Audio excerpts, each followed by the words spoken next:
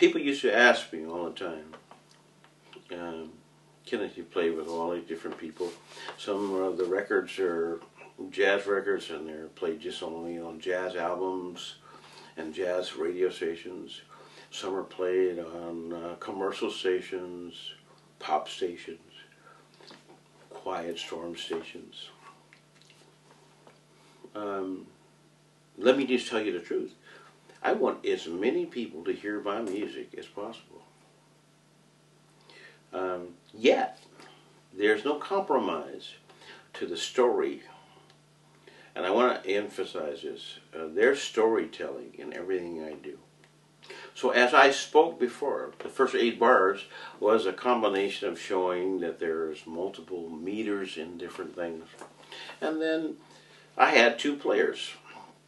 I had George Brooks, who plays with Zakir Hussain and some of the greatest players in the world. The most soulful Bay Area guys, but who's played with great people, including Yellowjackets, uh, Marc Russo, played on that particular song. Um, let me just name some of the people. Um, uh, Design Claiborne, Peter Fuji, um, Steve Carter. Uh, there's just wonderful Bay Area players that have played on that particular record. What did I do? Let me just tell you what happens. Sometimes in the music business, you have to be proactive. Um, I didn't have a record deal. I had Herbie Hancock's original piano from the from the uh, Automatt that David Rubinson, look him up, sold me for X amount of dollars. And I had Herbie's piano in my studio. And you see the studio back here? You see the board?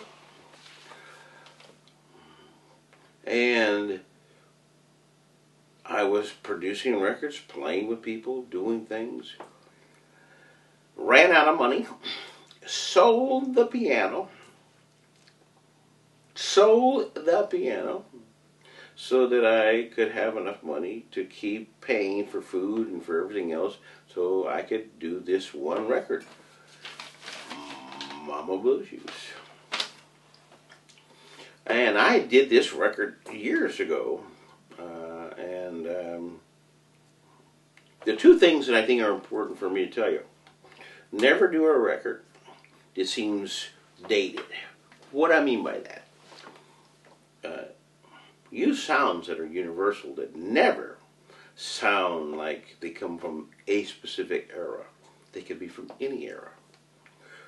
Do things that have such heart and such integrity that even if they don't believe, or even if they don't like the words or the music or the concept of the song, they have to just give you at least kudos for saying this brother believes in what he's doing. I tell people a lot of times when I teach in universities around the world, um, I'd rather play with a guy who plays guitar with a capo and who plays and digs in plays and really plays than to play with somebody who can play five billion notes and um, they show me just their virtuosity. I think music is the merger or the marriage between great inspiration and great technique. I have both. And I inspire my students and I inspire the people I play with to do both. But to just look at technique, let me give you an example if if you were a writer who typed 500 words a minute, I mean manually, manually, be pretty impossible to do. And I had you look outside of a window, and I said, look outside in this courtyard. And I want you to say, you see this person over there, there's a woman dressed in black. Her father just died. Two kids skipping with a balloon. A guy walking with an ice cream cone. And somebody skipping with a basketball. Now, you're a great typist. That means you have great manual ability. Type me what you see. Your technique would never help you. You must be able to interpret what you see through your heart, and then your technique is the ability for you to be able to speak. You are a speaker. Music is language. And that's what I do. I'm really proud of the fact that uh, I remember my father used to say to me, Son, I hope you get a job where you never have to use your hands because you have no hands.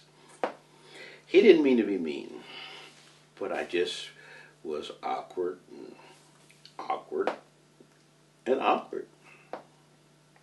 And it's amazing.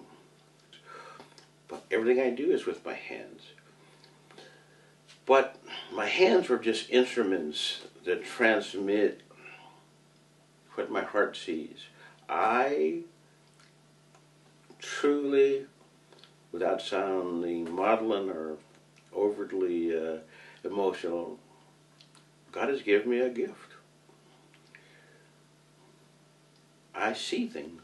I see, I don't mean metaphorically, I mean, I see the dilemma of life. I see the perplexities of life. I see the, the, the quest that people have for life. I see the need to dance. I see the need to move. I see the need for people to be express themselves. And so, um, what I've done is taken all of this information from great masters, and let me explain that. I played at first, when I barely began playing my music, I worked with dancers. My wife was a dancer, and I worked with the greatest dance troupes of San Francisco. You know, Zach Thompson, Danny Duncan, Joffrey Ballet, um, and on and on and on. I don't say that egotistically. I'm proud. Let me tell you something. I'm proud of what I've done. But it doesn't define me. Because let me tell you something. If something, if what you've done defines you, when you're not doing what you are not doing, then you're nothing. So therefore, no, I'm not defined by what I'm doing. I'm defined by who I am. And that's why I'm a teacher. And that's why I want to come and teach and share with you. Spiritually, emotionally. My whole quest is to have this video and to have this time and to have this music inspire you. For you to invite me to come and, and uh, share the art of living, just the art of living. I cook, I clean, I cry, I do everything I have to do. And so, all the people that I've played with in the past were my heroes, and it was amazing that I had a chance to play with them. I don't think that that will ever happen again. But what I will say is this is that life is still moving forward.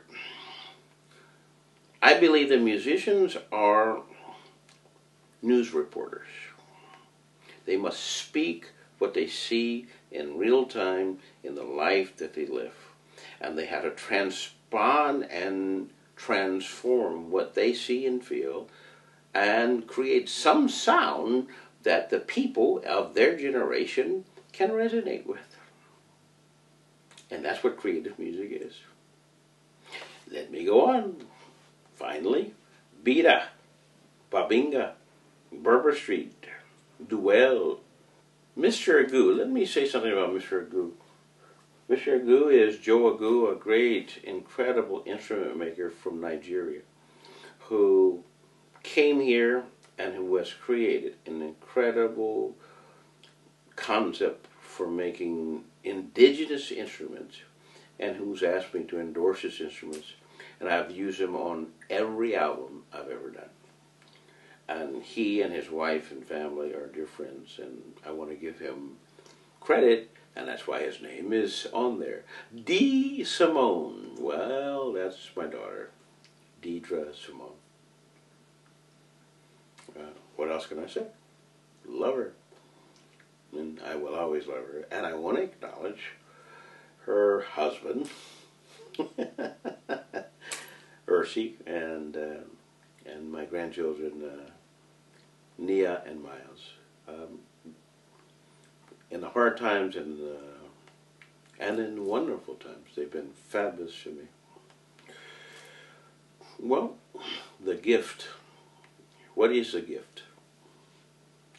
Mm. Listen to that song. It's a great ballad. I think it is. I hope you think so too. The gift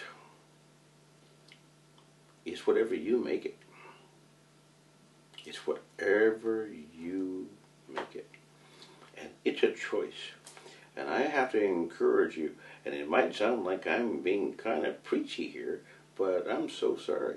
I'm not trying to. I'm trying to encourage. That's why I come. That's why I go teach. The gift. You have a gift. Everyone has a gift. Everyone has a voice. Everyone has something to say.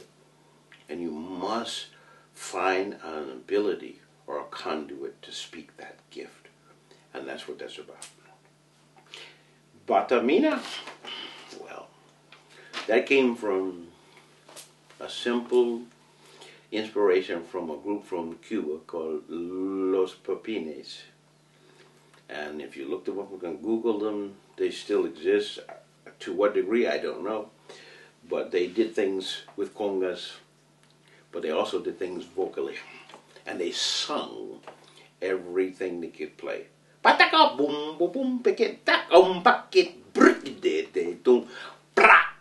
That's a slap. Everything I do and everything you hear me do is based upon language and based upon a system of great heart and great inspiration and just great love. And I want you to do the same thing. Stay strong.